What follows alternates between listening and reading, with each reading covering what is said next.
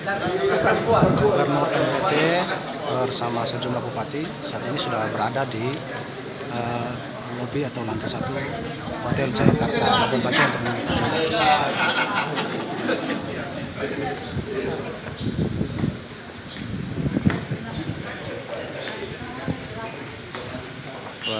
Gubernur NTT Victor Leskodat menggunakan uh, sarung atau pakaian khas Manggarai.